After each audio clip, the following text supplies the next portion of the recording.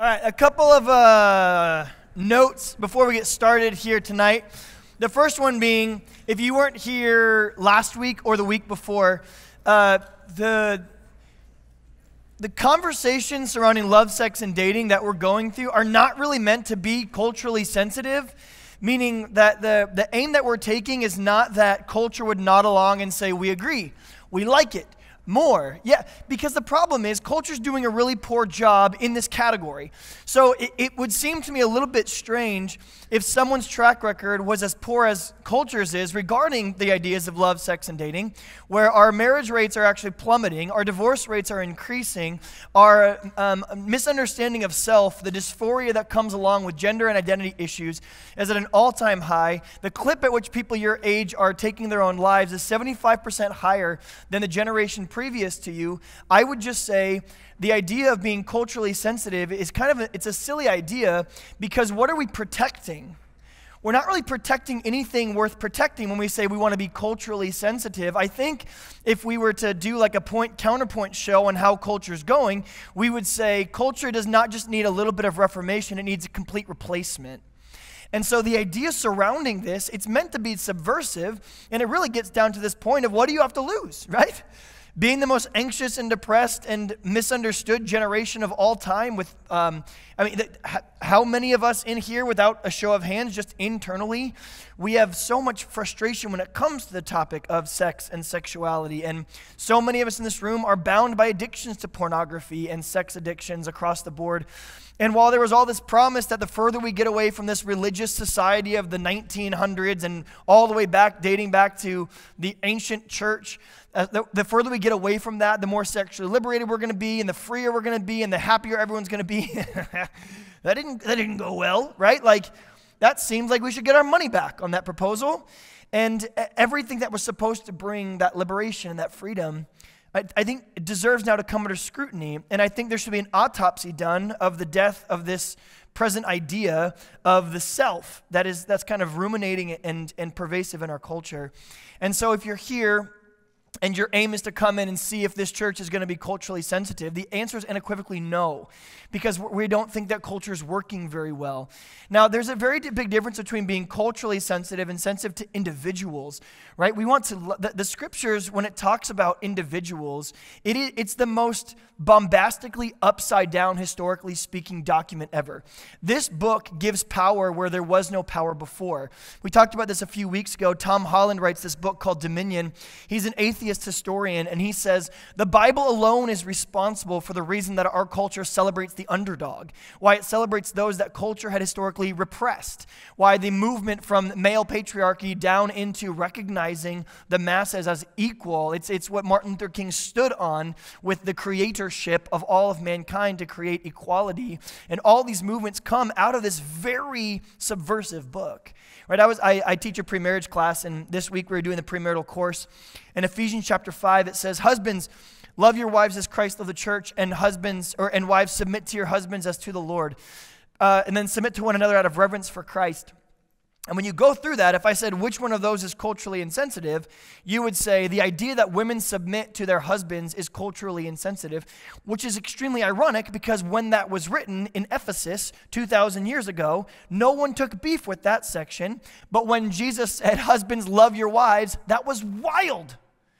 To tell a group of port authorities, this is Ephesus is a port city. So it's essentially ancient Las Vegas. So you came in and you were unknown, you were like, you were, you were anonymous. So you would come into port, you would sleep with whatever, whoever you wanted to sleep with. This is Ephesus. Then you left and no one knew, and you went home and then you did whatever you wanted to do. So Paul writes to the church of Ephesus, all these men who are practicing this, and he says, From here on out, you will show true and loyal uh, fidelity to these women. You will love them. Not just a little bit, you're loving like Christ loved the church and laid himself and laid himself down for her by cleansing her with water and the word. And this is what got Paul got his head cut off in Nero's circus. It was not the women going, feminism. It was the men going, leave us alone. Let us do our thing. We want to have our proverbial cake and eat it too. We want to have prostitutes and brothels and sex with temple um, insinuations of different expressions and pederasty and child sex slaves.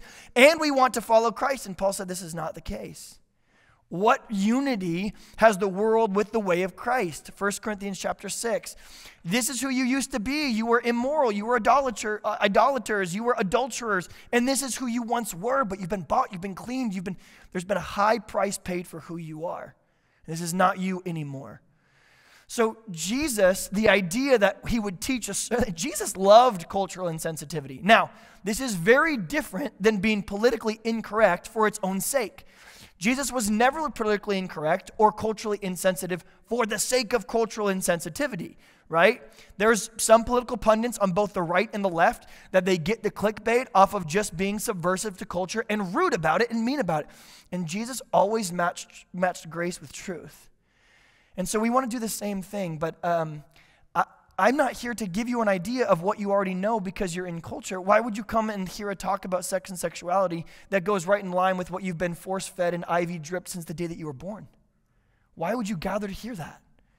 If I just told you to, to give a, an inkling of your cultural narrative regarding sex and sexuality, you would all say the same thing right? It's programmed into us. We almost naturally, when you start talking about sex and sexuality, all the anthems of our culture come into play. It's my body, my choice. I do whatever I want. The heart wants what it wants. You can't tell me who to love.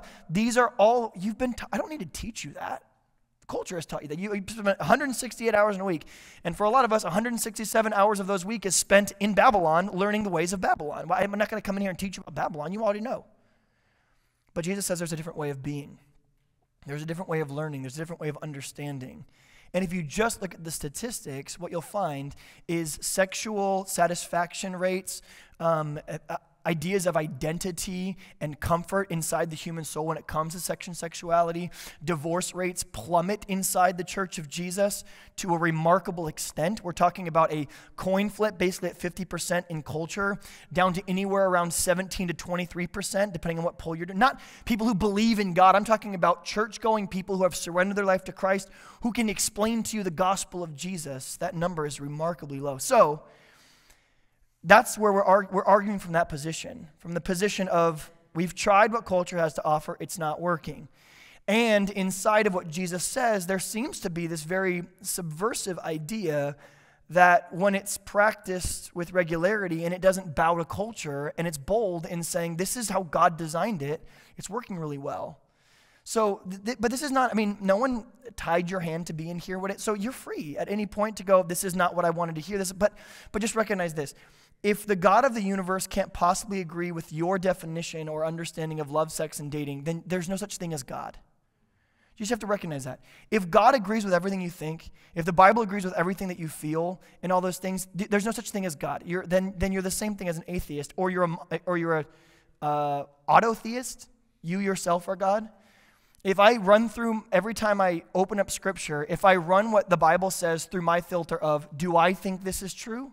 And only accept the things that are, then, then he's not really God. Because Isaiah 55, verses 8 and 9 says this Jesus is speaking to us, and he says, My ways are not your ways, nor are my thoughts your thoughts, declares the Lord. For as the heavens are higher than the earth, so my ways are greater than yours.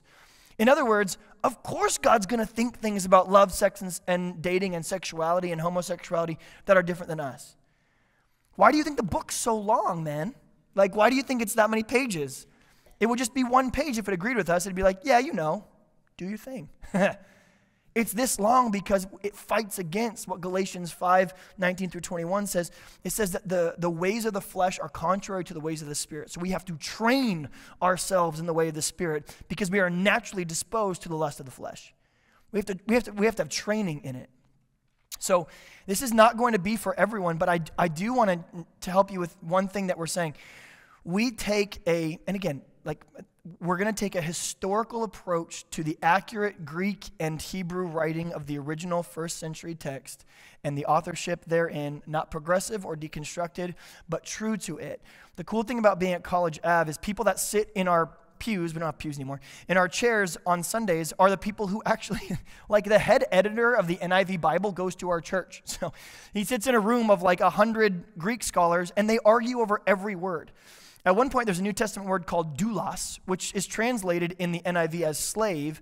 But they spent two weeks arguing about which specific word to use. So the idea that Christianity has missed this idea for thousands of years, and someone on TikTok has finally found this new revelation, I think what you're going to find is one theologian once said if it's true, it isn't new, and if it's new, it's probably not true. You're talking about scouring billions of people through every generation who have tested and tried the Word of God. Your friend on TikTok didn't find something new. And it's the same text. We didn't, we didn't find anything new. We found the Dead Sea Scrolls a few decades ago, and guess what? It's the same junk that we already had. It was like, look at all these new texts. It's the same thing we already had. Okay, fantastic. So, that's just to say, um, you're not going to offend me if you go, this is too far removed from what I understand to be right about the world. The second thing is, we are going to take an historical approach to the teaching of the Christian scriptures through that lens. And I'm going to back it up, right? Like next week, we're going to talk about homosexuality. We're going to talk about the um, what does God think about gay people? What, what does the scripture talk about when it talks about homosexuality and people identify in different ways? And, and we're to, but we're going to look at every argument for and against the idea of reinterpreting scripture to mean something for a new generation. It's going to be long. I'm going to tell you, it's going to be a lot more like a Bible study than it is going to be like a sermon. We're going to walk through the passages, the clobber passages of the Old Testament, the disputed ones of the New Testament, and come to a framework that I think you don't have to agree with it, but at least recognize that this is what the Bible thinks about these certain topics.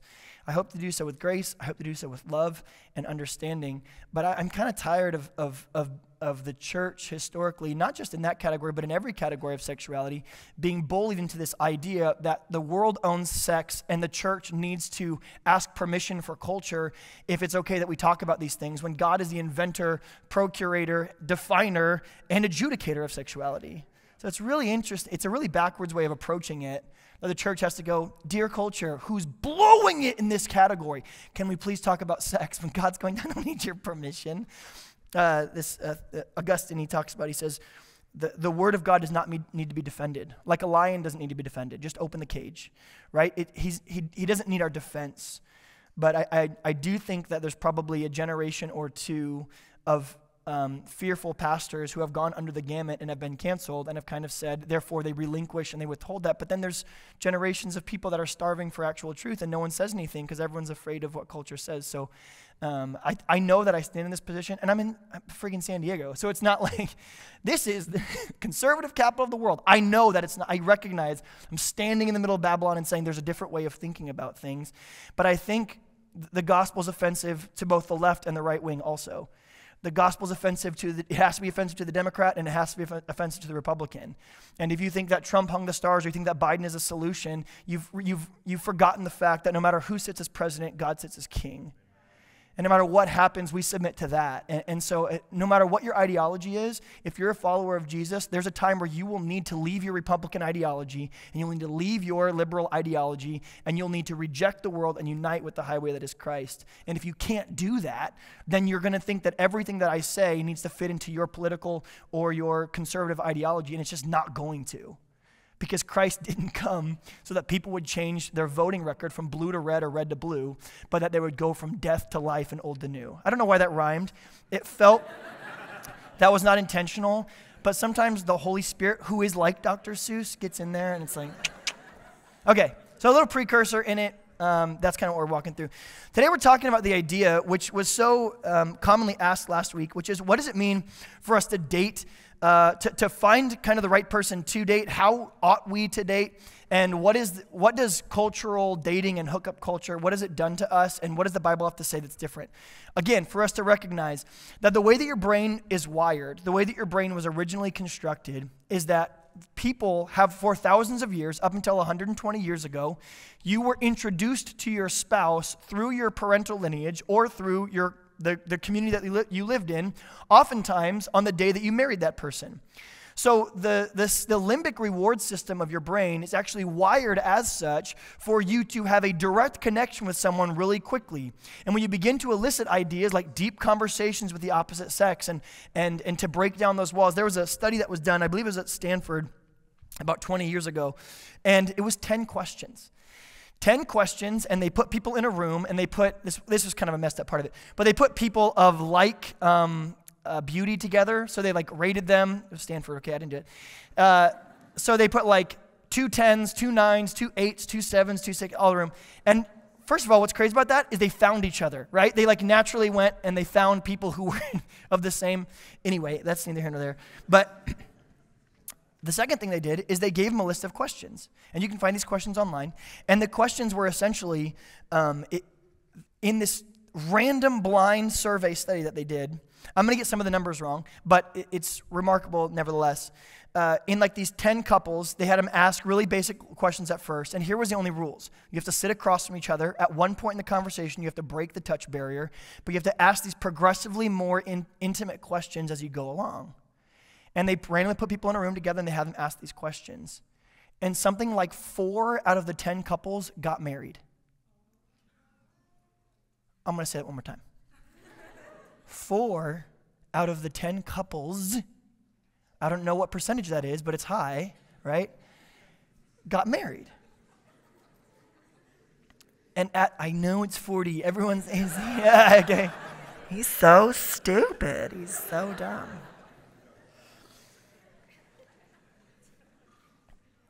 So, what you'll find a lot of the times is your brain, why am I telling you that? Because your brain is wired to connect with who you tell it to connect with. It doesn't really know the difference between a good person in front of you that is suitable for marriage and a bad person in front of you that you would never introduce to your mom. If you keep eliciting these ideas and you walk into deeper intimacy with it, your brain begins to, to break down the walls between your frontal lobe, which is your decision making part of your brain, and the other part of your brain, which is your oxytocin, vasopressin, delta B, all these other connecting chemicals. Your brain just goes, So this is the one?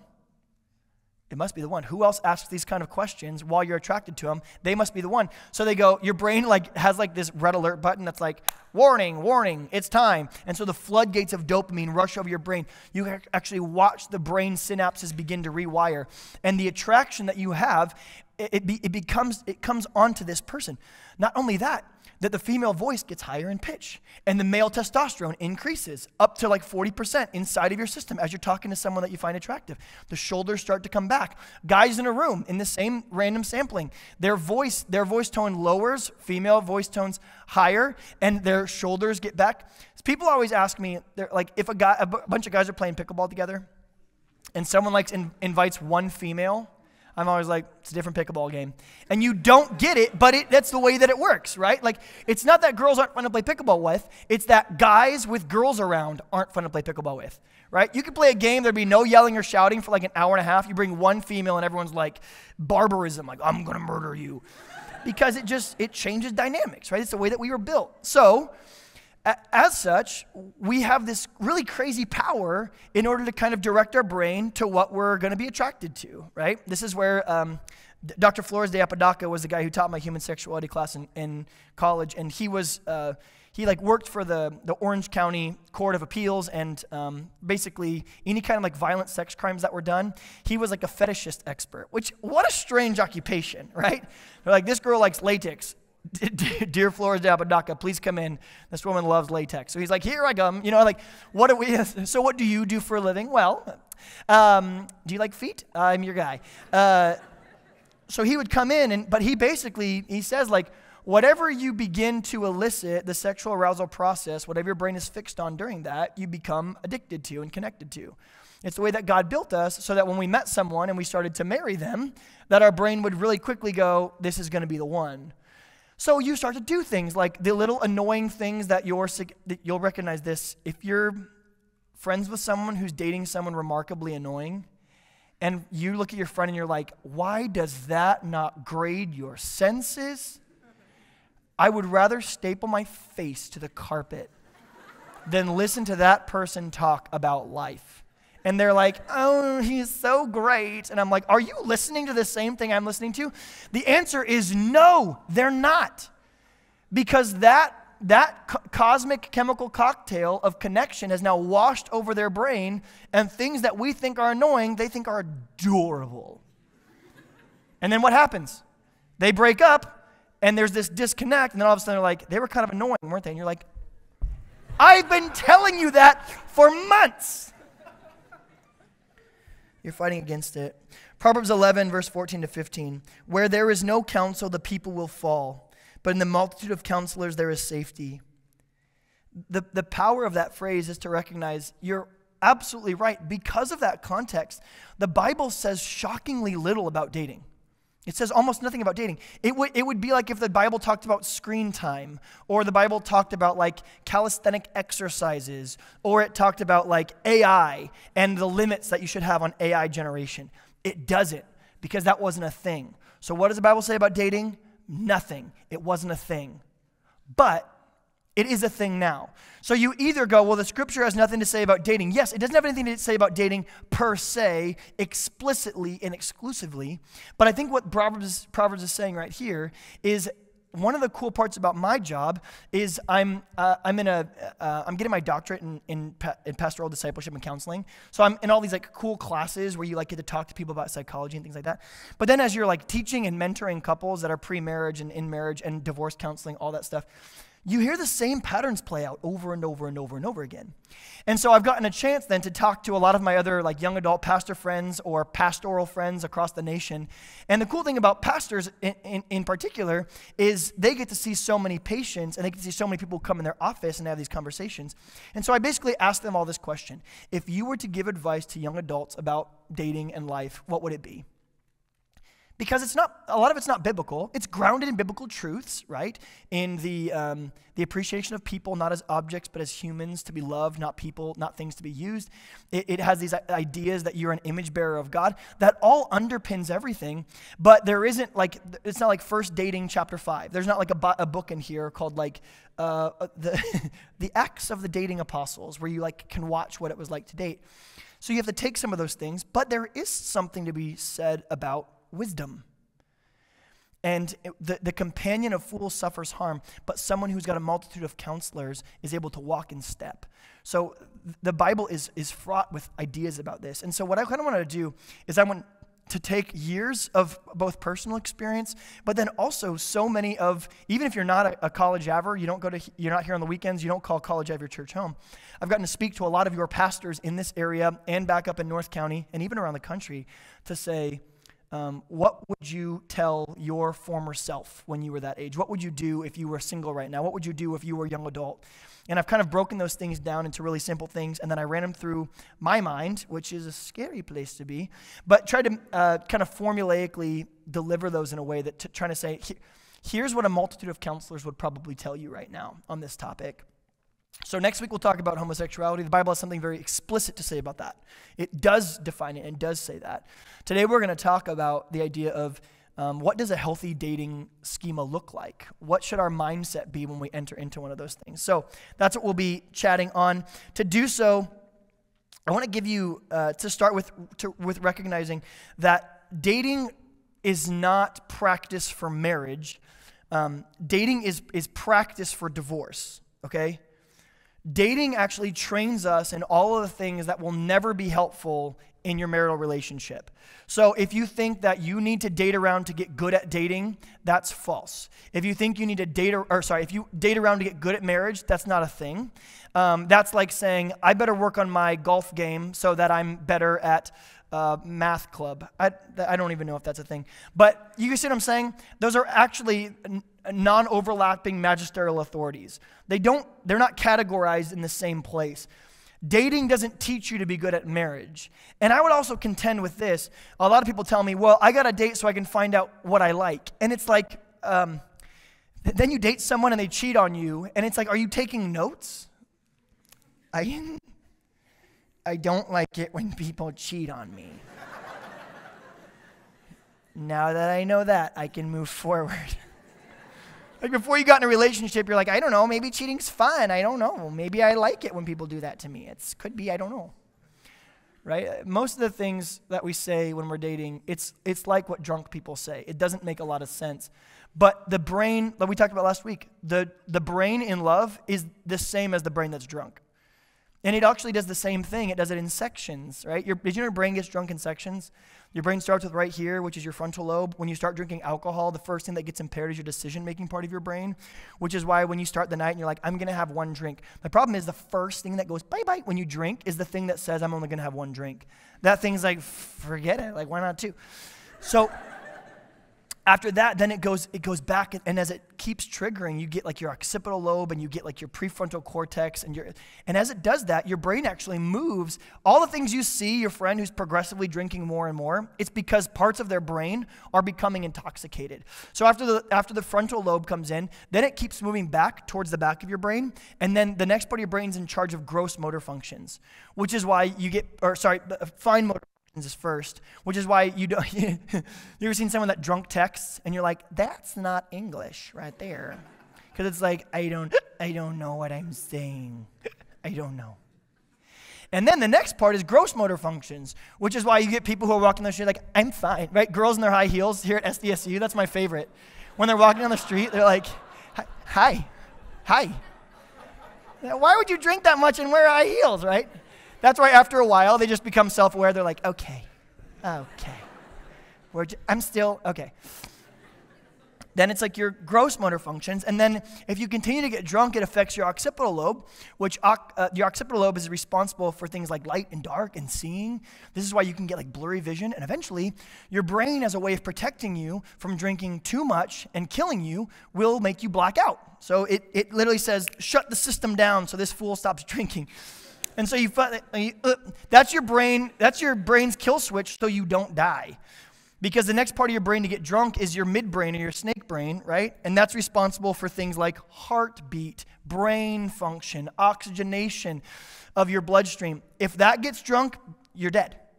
So your brain has ways of protecting itself, but when you get drunk, it's that kind of that same limbic reward process. So what that's why when you find someone who drinks on a regular basis, what you'll find is they build a tolerance to it. The real thing that we mean when we say tolerance is that they've tricked the limbic reward system of their brain, which always needs more of the same thing to be satisfied. This is hard to explain. Okay, I'm going to need help. Um, I need to figure something out. Okay, here, this is this is this microphone, okay? And this is a music stand. this is science. Okay.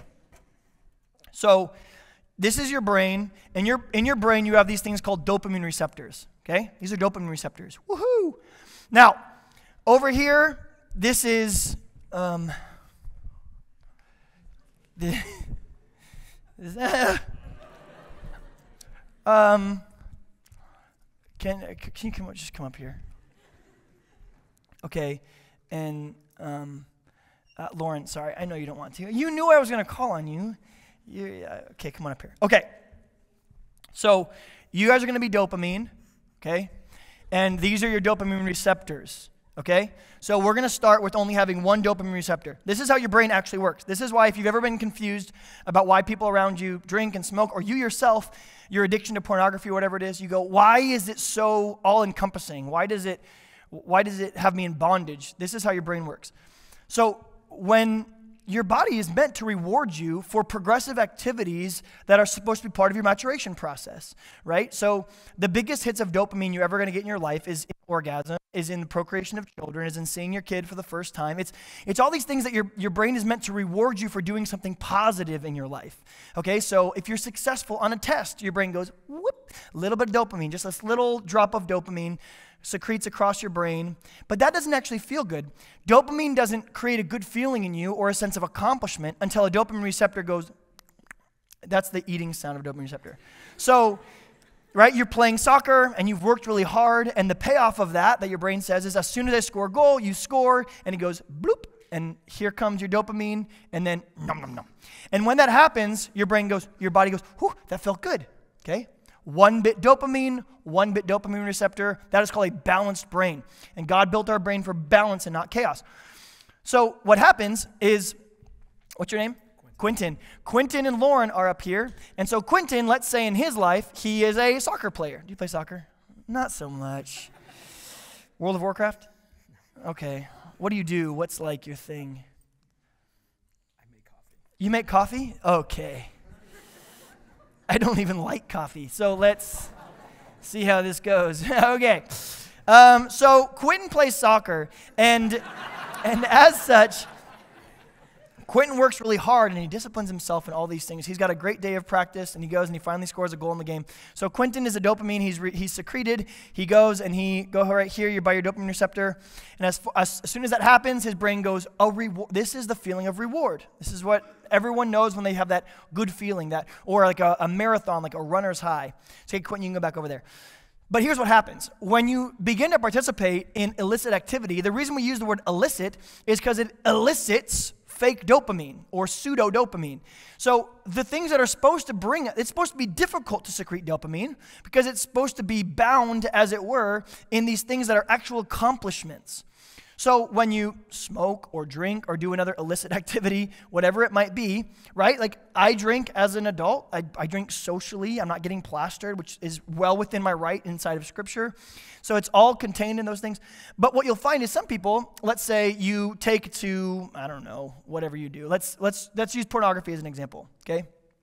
So in orgasm is one of the most incredible uh, releases of dopamine that human experiences, but it also releases oxytocin and serotonin and all these things that your brain basically looks around itself and goes, hold on, what just made that happen? What, what, why are we releasing these chemicals in the brain, like delta FosB, all these connecting chemicals?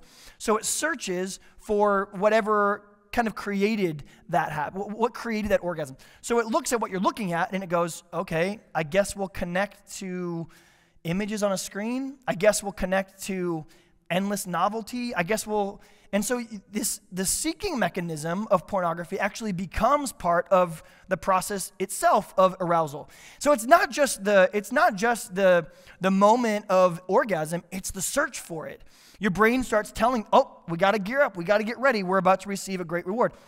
But Quentin in his life is supposed to have found a woman, courted her, asked for her hand in marriage, gone through the whole process, and then he should be secreting that. But instead, he skipped the process and just said, I'm going to start eliciting this dopamine whenever I feel like it, however I feel like it. So, Lauren and Quentin, when instead of doing it accurately, he's going to overwhelm his senses so that instead of releasing one bit dopamine to one bit dopamine receptor, when he starts eliciting false dopamine, he's going to send this wave, this kind of, you guys can both go over there, this kind of tidal wave of dopamine. And his brain's kind of going, what did we just get rewarded for? And it's looking at the screen and going, interesting. Well, we should get used to this because it seems like this is happening quite often. So, if we're going to be given two shots of dopamine on a regular basis, we don't want, we don't want to be overwhelmed on a regular, on a regular time scale. And so, you're, so God has built your brain in order to adapt and to, it's neuroplastic. So you guys can go back over there. So after the, after orgasm happens, after the whole kit and caboodle is done, as Quentin sleeps at night, his brain goes, right? There's a, you know, it's like inside out. The guy's in his brain like, all right, gentlemen, we were overwhelmed, but we will not be overwhelmed again. What is our strategy? What's our game plan? Well, your brain strategy and game plan is always the same make more dopamine receptors. So your dopamine receptors actually can multiply. So Quentin's brain goes, ha ha ha ha ha, you're not going to overwhelm us again. We're not going to be fooled with all this dopamine. So then he participates in the same activity as before. The same, and so in the arousal process, he's thinking about it, he's working towards it, and he finally has that same experience of arousal and orgasm. And then here they come back over there. Yay, there you go. One on one, one on the other. And now Quentin goes, hold on. Before, it was two bits dopamine to one bit dopamine receptor, and I had an overwhelmed feeling. This doesn't feel so overwhelming. My brain's adjusted it's synced, it has neuroplastically transformed itself, and the synapses have been rewired so that I'm no longer overwhelmed. So Quentin goes back home, or wherever he was when this happened, right? And he thinks to himself, I need to overwhelm this again. You see, this is where the limbic reward system is bondage because it begins to tell you, mm, that was okay. That was like when we used to score goals in soccer, right? Yeah, one to one, one bit to one bit, that was great. But remember what, the, what it felt like when we first started to illicitly secrete those things and we kind of tricked our brain into sending reward when we didn't have any reward that we should have sent? That was great. So Quentin begins to search for a new novelty. So he might look up a version of pornography that he hasn't before, or it might move from um, metaphysical to physical. He might hire somebody. He might do something. I'm sorry, Quentin, I'm not talking about you, but um, anyway, uh, Quentin applied for internship for next year, so we'll see how this goes. And so, as such, Quentin's brain goes on a mission to have that same feeling that it was felt when it was overwhelmed. But Quentin knows that it's the definition of insanity to, to repeat the same thing and expect a different response. So he begins to tell himself, that's not going to work. I need something new. So he starts looking at stuff that he hasn't looked at before, or a new genre of pornography he hasn't looked at before. Maybe it's, maybe it's uh, um, he, he actually has to insert some pattern of actually violent behavior inside the pornography, or maybe it's multiple partners, or maybe it's some sort of three dimensional interaction. Or again, maybe he kicks from what is metaphysical to going and participating in what is physical. Maybe he participates in some kind of um, uh, activity of hiring a prostitute or an escort or something else like that because his brain is, is pushing him to seek something new. And if you've had an addiction before, none of this is wild to you, right? No one sitting here who's had an addiction to drugs or alcohol or sex or anything that elicits false dopamine is sitting here going, I don't recognize this process. Most of us recognize this perfectly because what happened before was this overwhelming sensation, which is now nothing more than what you used to do when you. You're not done. Whose kid is this? So, what happens is now, if let's say they go and uh, he has another experience that's, you know, kind of wild, and he has to pretend there's a third person up here. You don't need to move that. You guys can go sit down. I guess we've, we've understood at this point. You've done great. So, what, what can happen this time is let's say there's three bits. Yay, walking. Okay. So he participates in some new behavior and now there's three bits dopamine, and it goes back over here, and Quentin goes, Yes, that's what I've been missing. This must be what it is. I must have needed that. I must have needed this next level. Or he connects to something that um, he, he, he combines both sexual arousal with something that in his mind or historically has been taboo for him.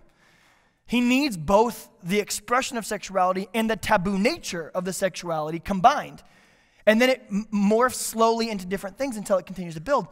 And now, when Quentin goes to play soccer, and he's got now three bits dopamine receptors because he keeps practicing this illicit activity that is falsely.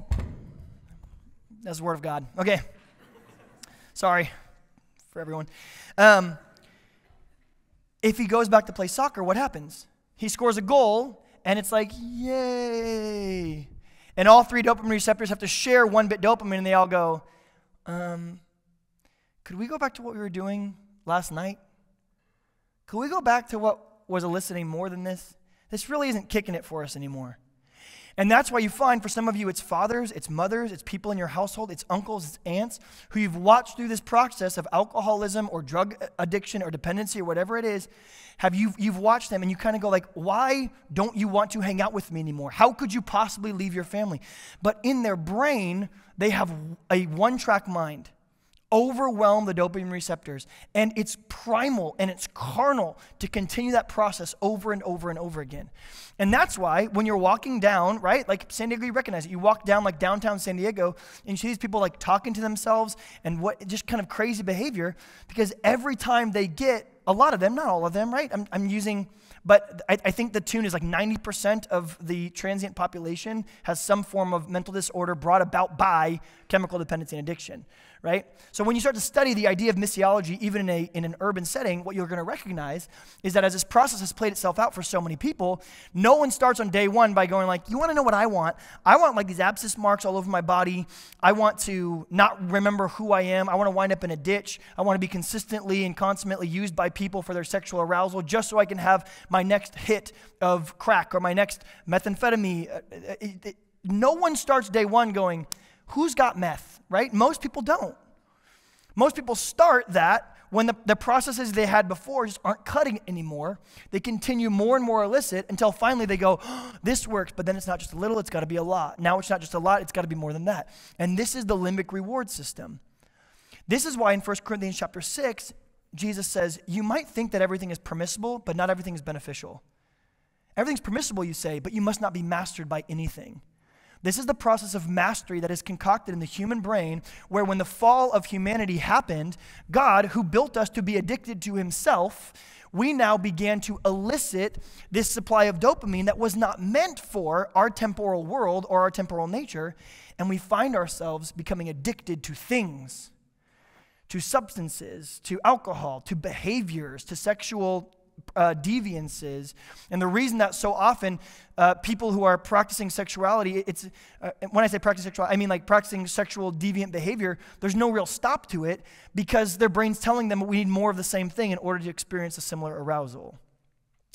That's why we should have deep grace for people who are experiencing it's literally it's a disease. Alcoholism is a disease. Chemical dependency addiction is a disease.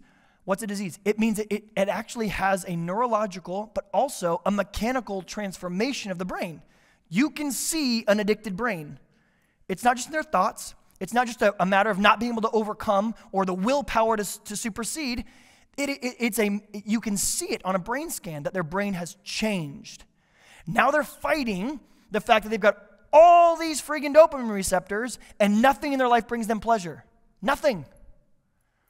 How could someone turn to prostitution? How could someone turn to this? Because they have taught to disassociate with their body because their body is just a vessel by which they get more in terms of their brain. That's why the, the, scripture, when Jesus interacts with people like the, the, the woman caught in adultery or the prostitute, everything, he has such deep grace for this because he recognizes how the human machine is made. And that while they have chosen, in some cases, these different activities, it then becomes habitual. And that habitual uh, nature becomes a disease that they need help with. Which is why it's so beautiful that Jesus has programmed our brain in such a way that we can have synaptogenesis. Your brain can get rewired. If you stop using dopamine receptors, you know what happens to them? They die. If you stop this process, your brain starts to, in the same way that it was overwhelmed, it says, You're going to keep feeding me one bit dopamine, and I've got 16 dopamine receptors. So after one week, it goes, We don't need 16, let's do 15. We don't have 15, we need 14. We don't need 14, we need 13. We don't need 13, we need 12. And it kills them one by one until one day, when someone who has finished the process of their brain being addicted to something or their body going through withdrawals of not having that thing, it's their brain, it's their body punishing them for not feeding it the subscribed amount of dopamine, you go, Dad, you're back. Or your friend who is in addiction, it's you're back.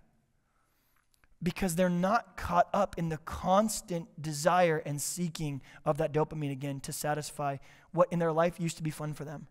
So when they stop going out with you because they're going to go do something else, that's why. When they start rejecting, but the, see, the thing, I don't really know where this goes, Josh, so I'm just going to put it places, and then you can change it to put it other places. It's the beauty of having a mobile setup. And, but to recognize that this is what your brain does, and this is what we tell it to do when we start dating someone. When you start dating someone, your brain goes through a very similar process, which is why I remember. Um, like when I went on my first date with Carolyn, which is April 21st of last year, there was like this you're, you're, talking about stuff it's getting like more intense to think well when you've got five kids you don't really have like a first date. You know what i mean? So do you want kids? I do actually. I i have five.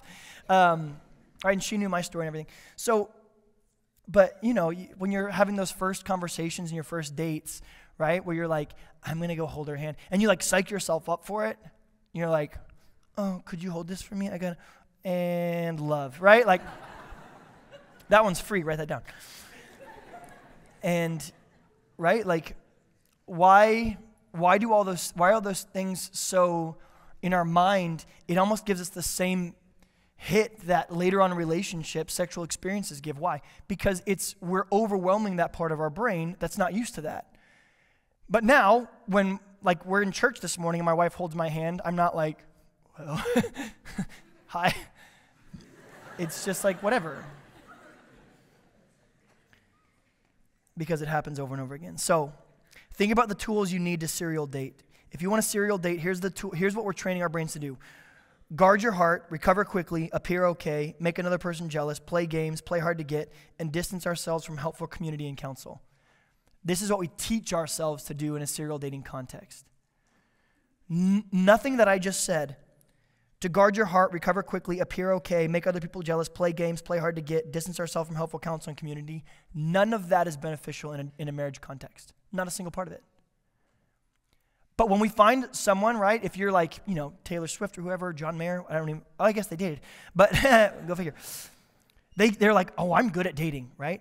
I can get up and then I can drop them. And then Beyonce's like, to the left, to the left, everything you own in a box to the left, right? You're like, get him, girl. You told him. That's not helpful in marriage.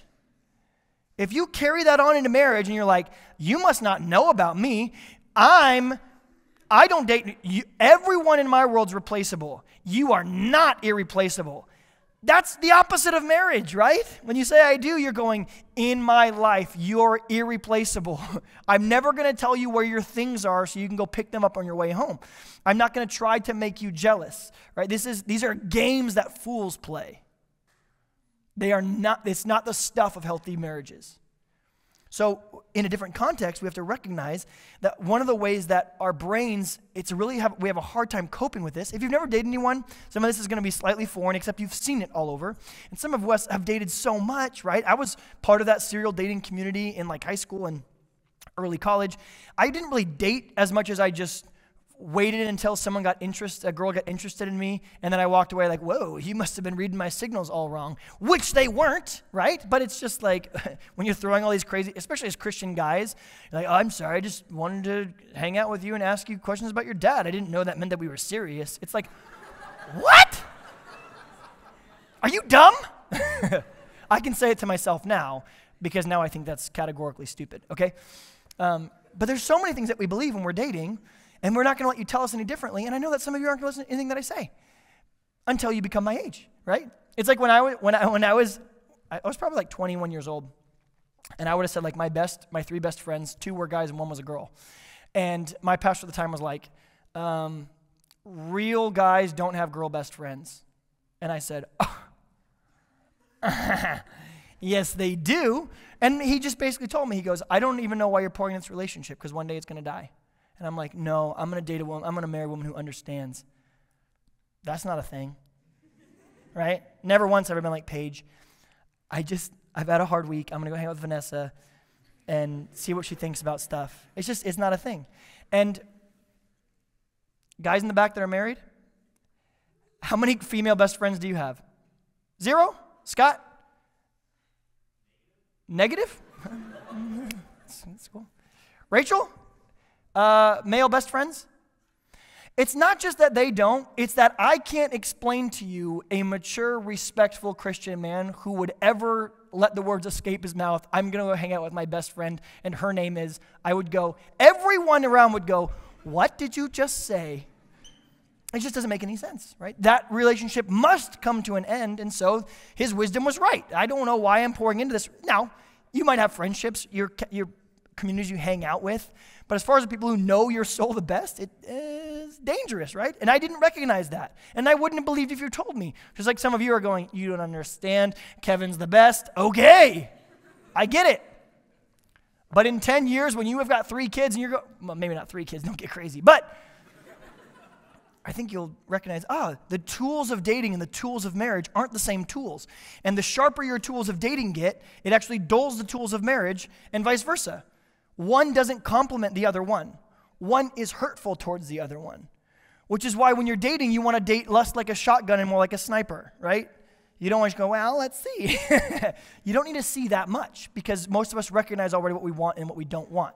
Okay, so I think sometimes we make that argument. But anyway, the, the one way that we have learned how to cope with the disappointment of broken and failed relationships is not to take responsibility for them. It's that we've learned these titles from like the DSM 4, 5, and 6, the, the psychosocial health and wellness uh, uh, books, textbooks on what creates these problems. And we've just begun to categorize all of our exes in terms of their, of their what? Their, their dysfunctions. Like, he was a narcissist. He was, he was she had histrionic personality disorder. He was borderline. And uh, some of these things can actually be true and can be clinical, but what, what's happened, I think, is in an effort to make palatable the failures of our own relationships, we just go, uh, why, uh, why, why is everyone that I date a narcissist? The question you need to ask yourself is why do you attract narcissists? The problem is, whenever you run over your former boyfriend or girlfriend with a car, you have to be responsible with answering the question how did they fool someone like you for that long? Right? So there's a sense in which we have to take responsibility and go, I didn't see any of this coming. I didn't recognize. Now, can people flip a switch and be crazy over it? For sure. But in most cases, that's not what took place. In most cases, there were warning signs, and our friends tried to tell us, and our mom tried to tell us, and our dad tried to explain it. And we ran through all of them because of love, right? and the more people tell us to stop, the more we feel like we're synonymous with Romeo and Juliet. We're like, this makes sense because the Capulets and the Montagues are all hated, right? And that's not you. It's just loving people trying to give you wisdom. So we've just kind of said this categorically. Let me give you this statement as we are kind of wrapping up here and, and take a couple of questions. Um, th- this is, uh, people sent these things into me from all over the country. And I, I made this little rhyme scheme because I keep getting asked the question How do I know if someone that I'm interested in is ready for marriage? How do I know that someone I'm interested in is here to not serial date, but is here to move into courtship, into a marriage relationship? And at least moving towards it. I don't think that every relationship needs to end in marriage, but no relationship should start unless it's moving towards marriage, right? Like, in, in, uh, what I mean by that is you're not going to know whether it's moving towards marriage until you're in the relationship. I get that. But you should never be dating anyone that you go, nah, never. But let's try it out, right? That doesn't make because if you say, I really, really shouldn't, but I'm just going to give them a shot, but they have all your non negotiables are things that they don't have, what happened when you sit in a room with someone and start asking them intense questions? Your brain starts to connect to them. So that's why you got to be careful who you go on a date with because what you'll find is that your brain starts to look at the maladies and the annoyances and the idiosyncratic problems and it starts to go, I kind of like these things. These are kind of nice. And your friends are going to go, oh no, she's drunk. Her brain's gone. And she's like, nine, everyone's against us. Like that's, that's like the motto of codependent relationships. Baby, don't listen to them. They all want us to fail. What? Honestly, people are so self involved, they don't really care that much about you to want you to have a relationship fail. So if they offer you advice, it's probably only once, and it's probably like, you should probably break up. And when you say no, they're like, whatever, I'll move on. Because it's just, no one wants to fight against a drunk person. No one wants to fight if you're categorically going, you don't understand us, you don't understand us. Why do I know what that sounds like? Because I said it. You know how many times I told people, you don't understand? Or your love's too immature. You don't have what we have, Dad. Anyway. we'll share this on our uh, thing, but number one, check the shackles on their wrists. This is going to rhyme. That's why it's going to sound like this. Check the shackles on their wrists. What does it mean? It means the, one of the ways that one of the key ways you're going to know if someone's ready for marriage is that they're free. If you're not free, you're not ready for marriage. What does free mean? Free from these things, free from other relationships, right? You don't have inappropriate, you're not following in, inappropriate accounts on Instagram. Guys, do you know that girls look at that? If a, tell me I'm lying. Tell me. If you're interested in a girl, she will click on your profile. She will go to people that you follow, and she will look for any blue check marked Instagram influencer with no clothes on and go, uh, no. Tell me I'm wrong. Mm, mm. Guys, ladies especially, if I say something that you connect, just give me a mm, because I want to make sure the guys know I'm not up here just spewing stuff. I, mm, okay. that they're not keeping up with old relationships. They don't have a reason to make sure that their old boyfriend is doing well. It's not important anymore. Codependency masquerades itself as affection. Codependency's favorite outfit, favorite Halloween costume is love. Codependency's favorite mask is affection. It masquerades as an affection, but it's not, it's codependency. So free from other relationships, free from inappropriate, following inappropriate, free from other past relationships. Number two, on that freedom, the free from addictions. They're free from, guys, this is important. Ask them, what is your relationship to pornography? At least make them lie to your face. Carolyn asked me that on our second date, and I, because she was asking me dumb questions. She was like, I'm like, we'll get married and you'll find that all out. She's like, what's your favorite color? I'm like, I don't care. What does this matter? Right? Who would play you in a movie about your life? Who cares? And then she said, What's your relationship to pornography? And I went, There's a good question. That's what, if you were my daughter, that's what I would send you on a date asking. What's your relationship to pornography? And would you be comfortable with me checking your Instagram history right now and your social media? Could I check it right now without any problems, right? And the way that um, manipulators shift that is to make it a problem of your trust, not a problem of their infidelity. Well, why don't you trust me? Because you're not trustworthy, Ben. Okay? It, whenever my wife picks up my phone to go text someone or do something or go online or whatever, I should be able to go, here's my, pa-. she already knows my password, but go, look whatever you want. Search through the history. Okay? Um, free from addictions. Okay? Uh, number three is on the freedom thing free in their identity in Christ not over concerned with what people think. Have, they live in a transcendent reality. They're not sitting here collecting scorecards from the world all the time. Free. Check the shackles on their wrists. Are they free? Number two, check the truth that's on their lips. So check the shackles on the wrists. Are they free? Check the truth that's on their lips. What does that mean? Um, don't, it, someone calling themselves a Christian means nothing. Means nothing, right?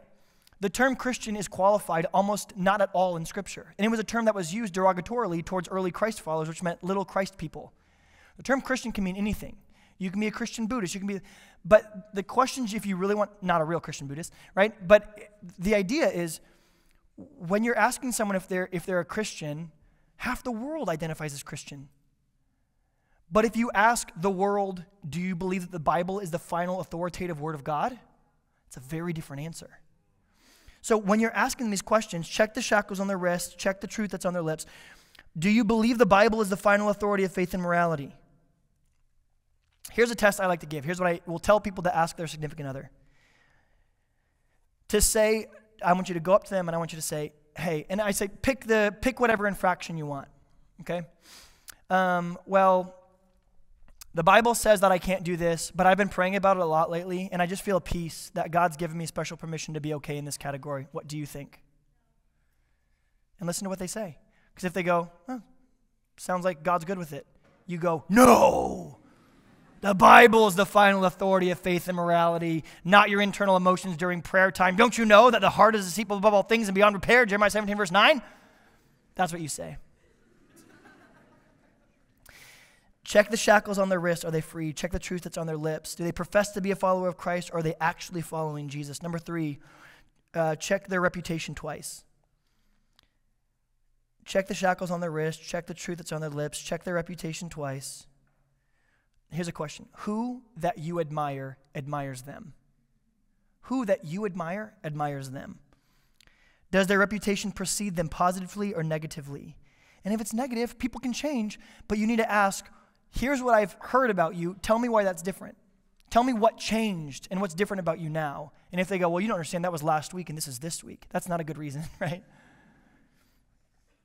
Check their reputation twice. Ask people about them and that their worth is found in Christ. Would they be okay if you weren't in their life? You want to know is your worth found in Jesus? Is your satisfaction found in Christ? Is your identity planted in Him? Because if not, and you cling to me, I'm going to disappoint you because whatever you idolize, you'll ultimately demonize.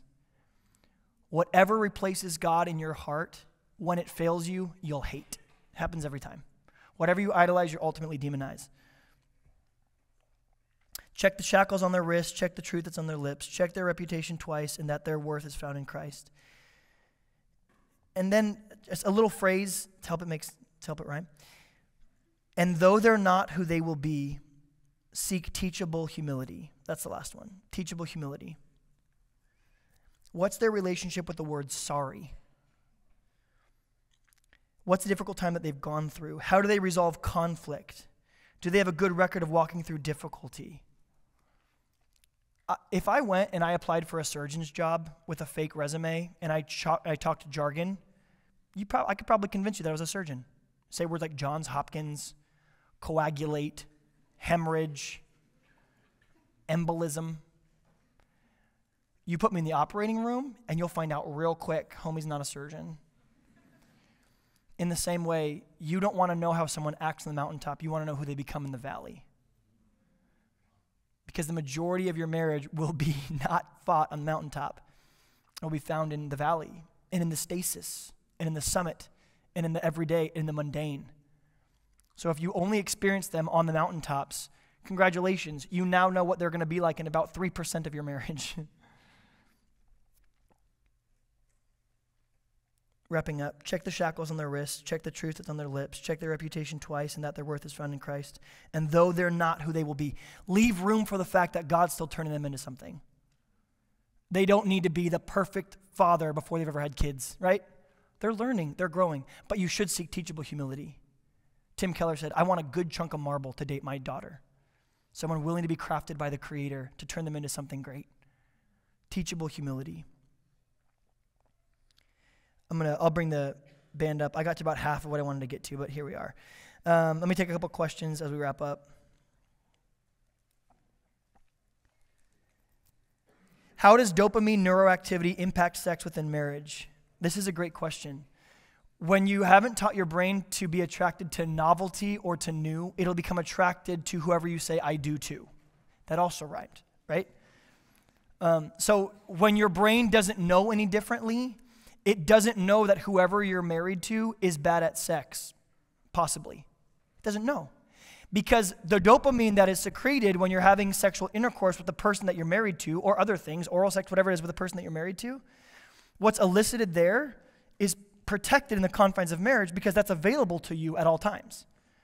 Christian marriage operates differently. There isn't this idea of like women are gatekeepers and they keep men out. It's, it's like there's this mutual giving to one another inside of marriage. It's a beautiful thing. So it, it doesn't break the limbic reward system, it feeds it appropriately. The same amount of dopamine is secreted through these things because you're not practicing new novelty. But that's also why you don't invite other people into your bedroom. You don't invite pornography into the bedroom of a healthy marriage. You don't invite any extracurricular thing into the bedroom when you're married. It's the two of you. Because then you're never caught in the situation where you go, well, that was good, but that was great. Now, every night, instead of just her, I need that other thing too. So you're protecting your limbic reward system in there. Good question. Where do I find these people? Okay. Uh, let me step on some toes real quick. You're like, oh, you're going to start now.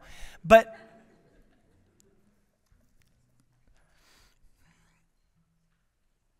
I'm filtering and I'm deeply loving you and I'm trying to let you know um, if you come to me and you say, Christopher, where is there a girl that you trust that you would think would be great for me to take on a date, I'm going to look at the people around College Avenue Church who are serving in ministry.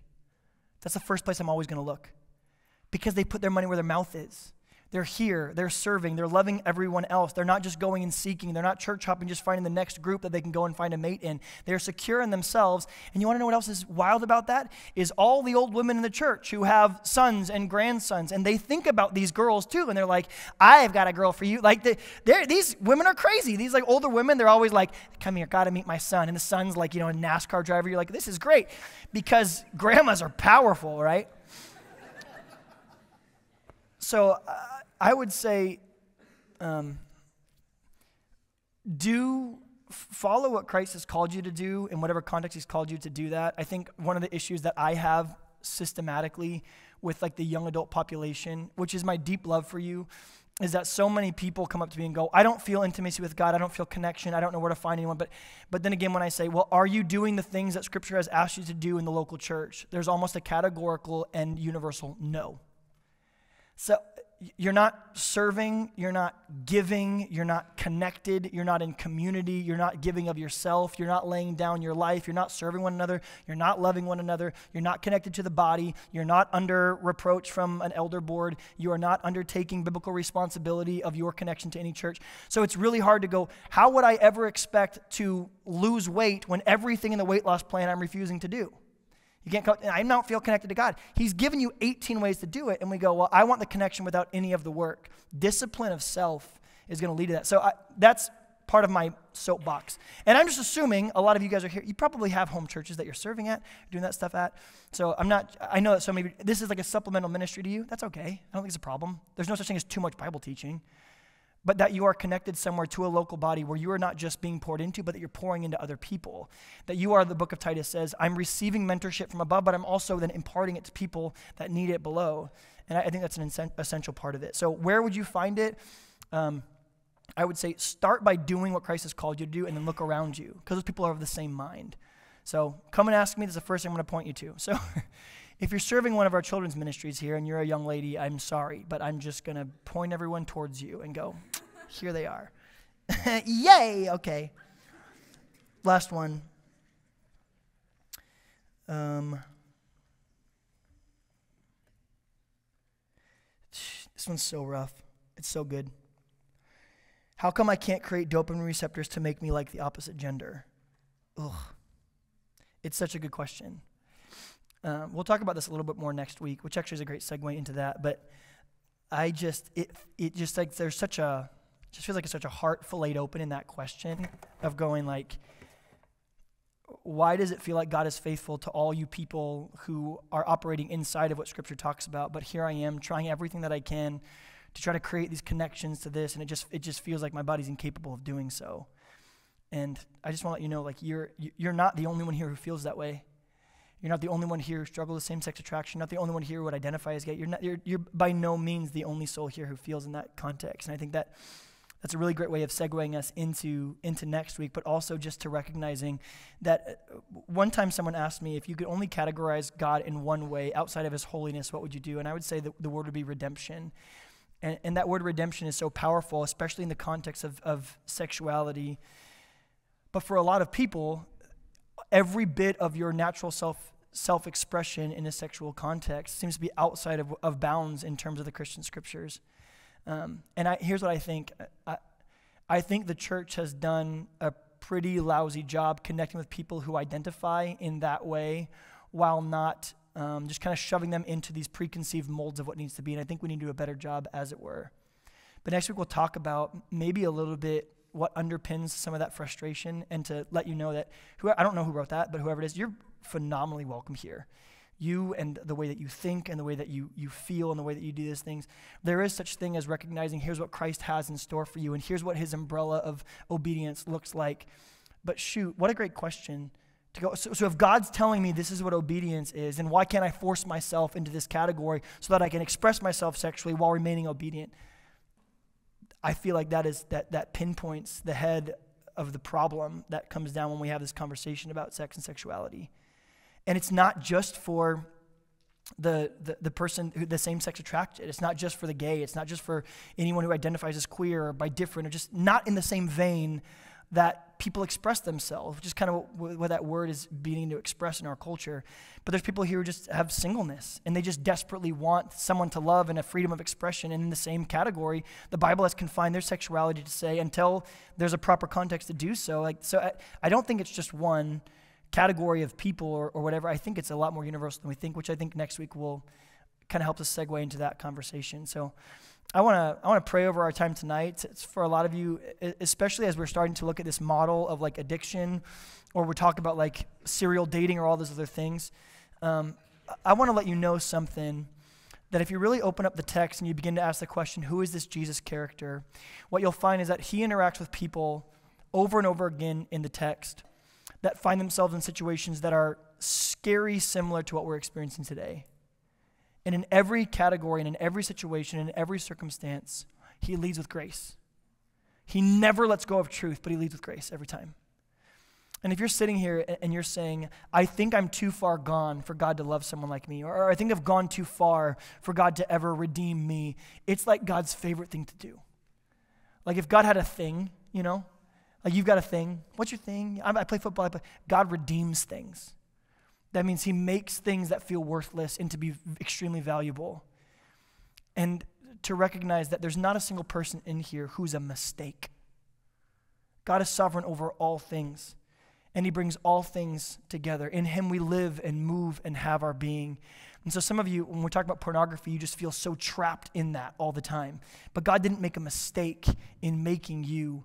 We have, in some cases, chosen the way that is apart from God, and we find ourselves in bondage, but it is for freedom. Galatians 5, verse 1 says that Christ has set us free. So, do not then return, it says, to the yoke of slavery that you were once found in, but find your true freedom in Christ. I, want, I want you just to recognize that tonight might not be the beginning of that process for you, but I want you to know that there's hope. I want you to know there's hope for everyone in this room who thinks if you think you're if you think that you're too far gone, you are as close to Christ as you could possibly be because the people who are actually in some categories so far away from the cross are ones who think God would absolutely be delighted to have someone like me in his presence. Jesus consistently moved away from that heart and towards the brokenhearted who said, Get away from me, I'm a sinner. Get away from me, you have nothing to do with me. All through, he called those people to follow him, he called them nearer to himself. He, he said at one point, I love this phrase I didn't come for healthy people, I came for the sick.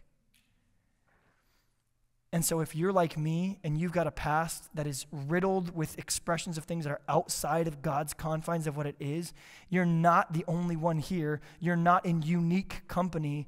You are amongst a body of people who love you and cherish you and think that your worth is in something bigger than what you find sexually arousing.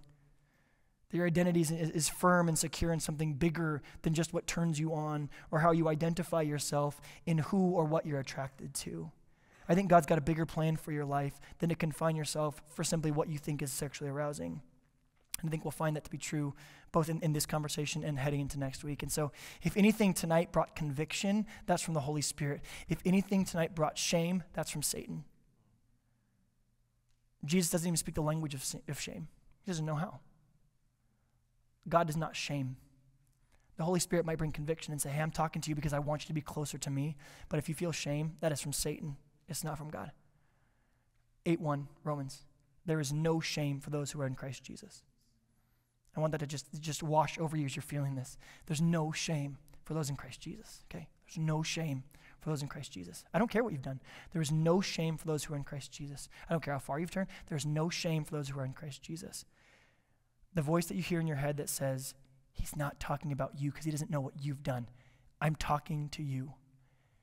There is no sin so great that you've outsinned the grace of the cross. Where your sin is deep, where my sin is deep, his grace is deeper still. There is no shame for those who are found in Christ Jesus. Would you pray with me? God, we surrender these things to you. And in some it seems like in some categories of culture, historically speaking, it was difficult to surrender our finances to you. In some categories of culture, it was difficult to surrender morality to you, God. And it feels like in a sex starved culture, the idea of surrendering our sexuality or our bodies over to you as a living sacrifice to say, God, make me into something new, is kind of a crazy concept. But God, we're praying, we, we want to live a different way. We want to we want to breathe the fullness of the design that you've made for us. And we know that for a lot of us, it's going to mean you're going to have to change something in us, to take us, break us, mold us, shape us into something new. But God, at the end of the day, we want to live a life different than what we're living. We want to live a real one. So would you break down every stronghold that's been set up against us? Would you take every help us take every thought captive for the sake of your gospel? Let us enrapture everything about who we think that we are in a little palm of our hand and then surrender it to you and say, God, take this and, and breathe something new here. We hand you all of it. Would you take our shame and replace it with the, the honor that only can come with being called a son or daughter of you? We pray these things in your name. Amen.